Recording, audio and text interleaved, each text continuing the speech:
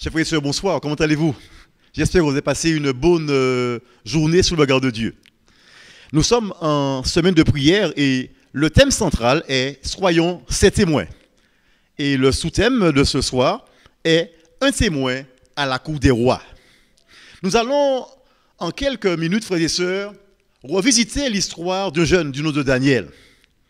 Et nous allons voir comment il a su être un témoin véritable pour la gloire de Dieu, ce qui n'est pas toujours facile lorsqu'on est jeune.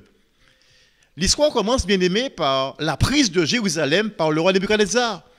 Des jeunes du nom de Anania, Miskaël, Azaria et Daniel sont déportés comme captifs. Ce sont des jeunes frères et sœurs de race royale, intelligents, pleins de connaissances. Et ils arrivent dans la cour du roi. Ils sont déportés, ils sont détachés. Bien aimés, ils sont arrachés de leur famille. Mettez-vous à leur place. Ils peuvent être découragés, ils peuvent être tristes parce qu'ils ne sont, ne sont plus dans, dans, chez papa, chez maman, avec tous les privilèges qu'ils ont. Bien aimés, ils arrivent à la cour du roi de Babylone. Ils peuvent aussi avoir d'autres prétentions parce qu'ils savent qu'ils sont de race royale et que là, ils vont se dire, ah ouais, bon, maintenant euh, j'arrive dans la cour du roi, un, roi important, je vais devoir peut-être avoir un, un, bon poste, un poste important, je serai placé près du roi. Et bien aimé, ce n'est pas cela dans leur tête, parce que ce sont des jeunes fidèles pour la gloire de Dieu. Ils arrivent effectivement à la cour du roi et un premier test. Le roi les invite à faire quoi? Vous connaissez l'histoire, bien aimé. Il les invite à pouvoir manger, à festoyer, à boire du vin, à manger les mains du roi. Et qu'est-ce qu'ils disent? Ils refusent. Ils refusent de participer à cela.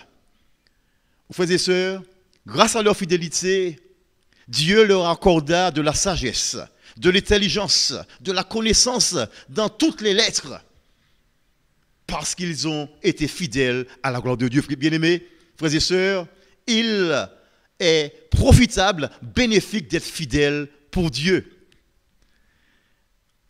Daniel arrive sur la scène en tant que prophète parce qu'il a été appelé comme prophète de la part de Dieu. Il se retrouve à la cour du roi. Le roi s'appelle Nebuchadnezzar. Et le roi a un premier rêve. C'est un rêve où le roi est flatté en sa personne. Parce que le roi est dans ce rêve-là la tête d'or. C'est une bonne nouvelle pour le roi.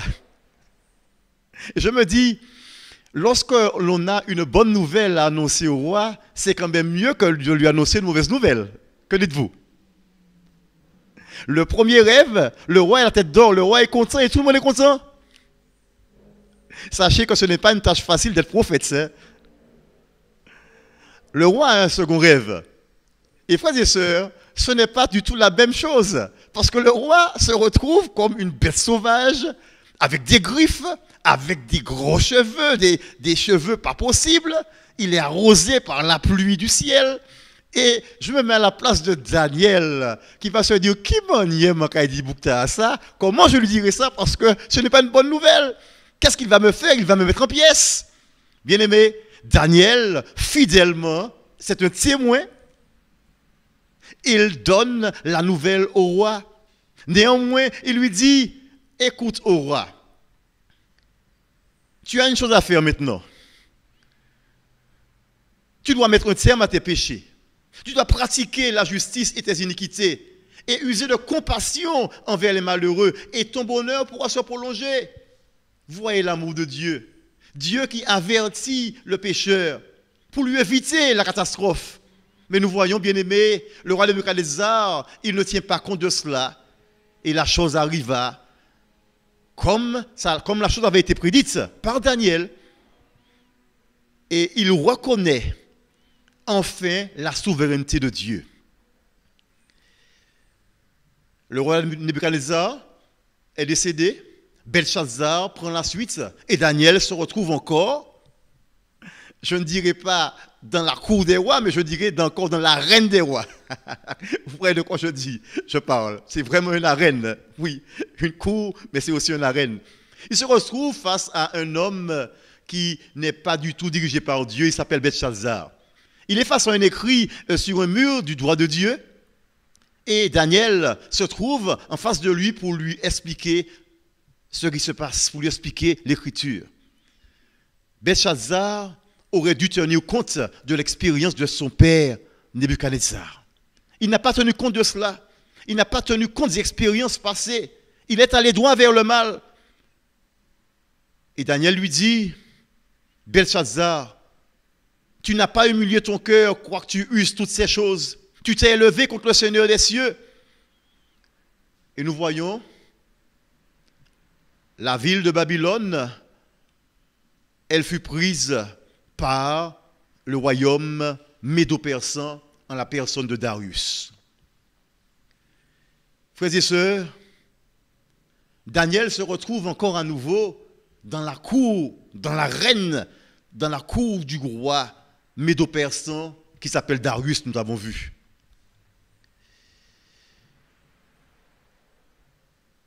Darius place Daniel dans une position vraiment extraordinaire. Darius connaît l'expérience de Daniel. Il sait qu'il n'est pas n'importe qui. Et il le place à la tête des satrapes. Il y a donc trois chefs. Effectivement, Daniel fait partie de ces personnes-là. Et nous voyons que les collègues nous diront de Daniel, les chefs des satrapes, sont devenus jaloux à cause de l'intelligence de la sagesse que Dieu avait mis en Daniel. Et vous savez, bien aimé, lorsque vous, voulez servir Dieu, vous n'êtes pas toujours aimé des uns des autres. Vous allez toujours vous retrouver en face des personnes jalouses parce qu'ils ne comprennent pas comment vous réussissez, de quelle manière vous faites vos affaires. Vous êtes victorieux, vous réussissez, vous avez du succès, disons-nous, parce que Dieu est avec vous. Alors, il cherche à piéger Daniel. Daniel est un homme vraiment qui aimait Dieu. Il aimait la prière. Et trois fois le jour, bien aimé, qu'est-ce qu'il faisait? Il ouvrait sa fenêtre et sans aucun problème, dirigeant ses regards vers Jérusalem, il faisait sa prière sans se cacher. Un témoin qui n'est pas dans le secret, un témoin dans la clarté, un témoin visible pour Jésus. Pouvons-nous être des témoins visibles ou quelquefois sommes-nous des témoins qui se cachent? Parce que nous parlons nous et nous. Nous parlons nous parlons nous savent nouiller, ça, ça nouiller. On se cache. On veut faire pour Dieu, mais toujours dans le secret. Il est bon de faire souvent dans le secret pour certaines actions, mes amis, mais nous croyons très bien que en tant que témoins, nous pouvons briller pour Jésus à plein feu, pour sa gloire. Ces hommes, nous voyons, donc cherchent des pièges pour mettre devant Daniel. Alors qu'est-ce qu'ils sont en train de manigancer? Ils se disent, bon ben écoutez, hein, cet homme prie son Dieu, nous allons pousser le roi Darius à signer un décret qui fera en sorte que personne, en l'espace de 30 jours, ne pourra prier aucun autre Dieu sinon le roi Darius. Daniel entend la nouvelle, et mes amis, Daniel tranquillement, sans pièce problème, il entend, il voit, et il continue avec son Dieu. Il va dans sa chambre, il ouvre la fenêtre et il se met à prier normalement à son Dieu trois fois le jour. Aux frères et sœurs, Daniel n'a pas peur d'être témoin pour Dieu. Daniel ne craint pas la parole des hommes. Daniel sait que les hommes sont mortels, mais que Dieu est éternel et Dieu est vivant et puissant. Daniel continue à être un témoin pour Dieu. Mais vous savez, Daniel n'est plus jeune. Du temps de Nebuchadnezzar, Daniel était jeune, mais maintenant Daniel a un certain âge, il est vieux. Et il aurait pu se dire, mais écoutez, maintenant, je suis vieux. Et, vous savez, lorsqu'on est vieux, il fait plus froid, on sent le froid plus. Ce sont des excuses qu'on pourrait trouver qui passent ou, des fois qui ne passent pas nous allons, je vais fermer la fenêtre, puisque bon, ben, il y aura peut-être trop de vent, euh, chercher des choses pour dire, mais des prétextes pour qu'on puisse pas le voir. Mais de toute façon, même si la, même si la fenêtre est fermée, je vais prier quand même. Mais l'important, c'est que je prie. Puisque ce n'est pas une affaire de fenêtre ouverte ou fermée, c'est la prière. Bien aimé, ce n'est pas la même chose. Daniel aurait pu trouver ces excuses-là, comme souvent nous en trouvons, bien aimé, pour ne pas être témoin. Daniel, bon gré mal gré, qu'importe les difficultés, qu'importe la menace qui pèse sur lui, Daniel continue à ouvrir ses fenêtres et à prier son Dieu, tout en sachant qu'il était observé par les jaloux, par les autres chefs. Daniel, frères et sœurs, était fidèle au roi, des rois, et la loi à laquelle il obéissait, frères et sœurs, était plus contraignante que tout ce qu'un être humain pouvait concevoir. Les fenêtres ouvertes sur Jérusalem, Daniel s'agenouillait et comme d'habitude, il priait, il priait trois fois le jour, bien qu'en étant observé par, par ces hommes qui ne l'aimaient pas. Darius, lui, aimait Daniel. Il essaya de tout faire pour sauver Daniel, mais le décret était signé et il fallait que cela s'accomplisse. Bien-aimé, face à la jalousie, à la conspiration des uns des autres, Daniel se retrouva dans la force au lion. Et là, nous voyons, frères et sœurs, par la grâce de Dieu, grâce à la, fidélité, à la fidélité de Daniel, nous voyons que Dieu ferma la gueule des lions. Et ce sont ces conspirateurs qui se retrouvèrent dans la gueule des lions et qui périrent. Gloire soit rendue à Dieu. Il en coûte d'être un témoin fidèle. Il est bénéfique d'être un témoin fidèle parce que Dieu se glorifie et Dieu bénit ses serviteurs. Daniel servait le roi fidèlement, certes, mais sa fidélité envers Dieu prévalait en toutes choses comme Nebuchadnezzar qui avait été impressionné et humilié par la révélation de Dieu à travers Daniel. Darius, lui, écrivit un décret après la délivrance de son fidèle serviteur, stipulant que tous les peuples devaient craindre Dieu, car il est le Dieu vivant et subsiste éternellement. Son royaume ne sera jamais détruit et sa domination durera jusqu'à la fin. Frères et sœurs, Carlos Elias Mora écrit Dieu a utilisé la captivité pour apporter un témoignage puissant au centre des nations babyloniennes et médo-persanes. Et. L'échec du peuple de Dieu qui a entraîné l'exil de Daniel et de ses amis n'a pas empêché le Seigneur d'accomplir son dessein de révéler son caractère aux nations.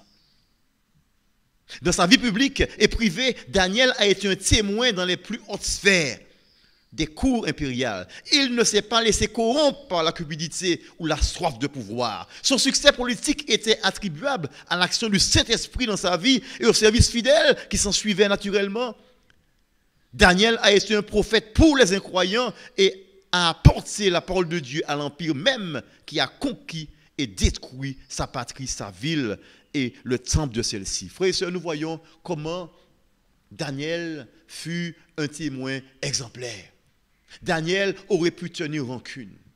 Daniel aurait pu être fâché contre Dieu, être fâché contre les circonstances et ne pas être un témoin fidèle.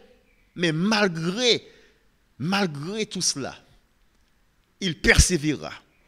Il tenut bon il servait fidèlement le Dieu qu'il a connu lorsqu'il était dans sa famille, lorsqu'il n'était pas en captivité. Il sut révéler le caractère de Dieu par sa fidélité. Aux frères et sœurs, Daniel n'a pas édulcoré les vérités tranchantes que Dieu a révélées à Nebuchadnezzar et à Belshazzar. Daniel n'a pas essayé d'échapper au châtiment d'une loi qu'il ne pouvait observer. Il a fidèlement témoigné d'un ordre supérieur et a rappelé à ses dirigeants humains qu'il régnait dans les cieux un roi, au-dessus de tous les rois, un roi dont la loi est juste, miséricordieuse et remplie d'amour. Amen. Vous frères et sœurs, même si nous ne servons pas des rois ou ne gouvernons pas des provinces, nous pouvons encore aujourd'hui servir fidèlement où que nous soyons.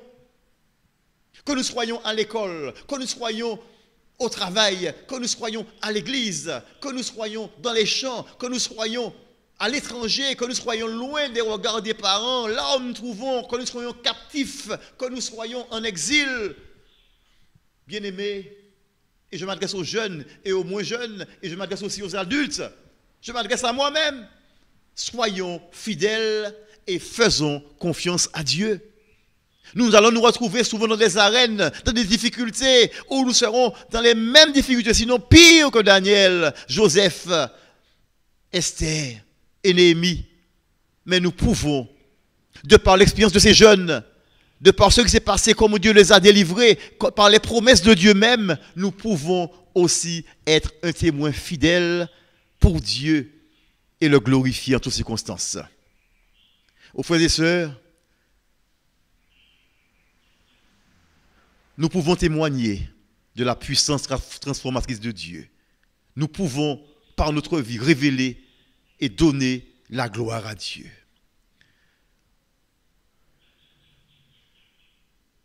Que nous soyons dans la vie publique ou privée, puissons-nous être trouvés fidèles. Vous voyez, nous avions ce soir quelques sujets de prière quelques sujets de prière, des questions pour la réflexion où je m'en vais vous les lire. Et après cela, nous allons prier sur ces sujets. Quelques questions. Comment pouvons-nous être un témoin de Dieu dans le milieu du travail? Comment un chrétien doit-il réagir devant une loi qui va à l'encontre de la parole de Dieu? À votre avis, êtes-vous fidèle dans votre, dans votre service pour le travail, pour votre famille et pour Dieu? Y a-t-il des points que vous pouvez améliorer? Frères et sœurs, nous allons prier sur ces points et demander à Dieu de nous aider à être un témoin dans tous les aspects de notre vie. Comment être un témoin dans le travail? Comment, comment pouvons-nous réagir devant une loi qui va à l'encontre de la parole de Dieu?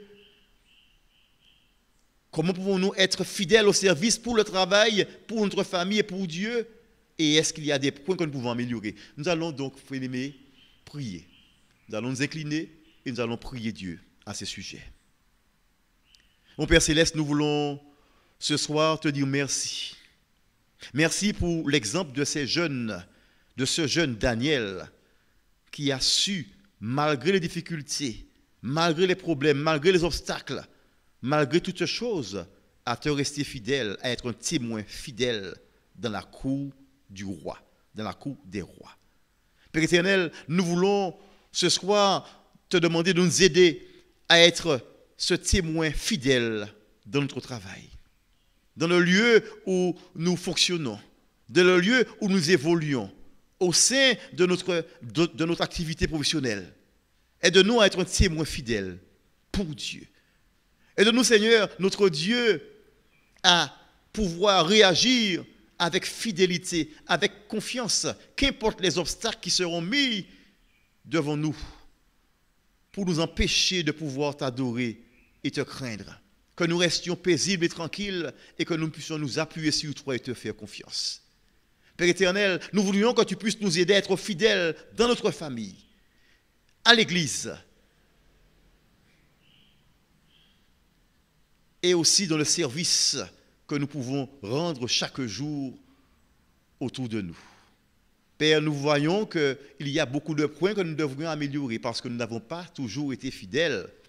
Et nous voudrions, Père éternel, que tu puisses nous y aider, que tu puisses nous transformer, que tu puisses nous mettre en confiance chaque jour et que dans l'étude de ta parole, Père éternel, nous puissions prendre des forces, ne pas nous appuyer sur nous-mêmes, ne pas nous décourager, nous dire que si nous passons par telle, telle difficulté, ou si nous sommes placés dans tel, tel lieu, c'est parce que tu as quelque chose à nous apprendre et que tu désires sauver les hommes et les femmes et les conduire à mieux te connaître. Seigneur, sers-toi de nous comme tes instruments, et de nous être tes témoins, et de nous à pouvoir rester fidèles jusqu'au bout. Nous te prions au nom de Jésus. Amen. Frères et sœurs, nous avons passé un moment formidable, n'est-ce pas?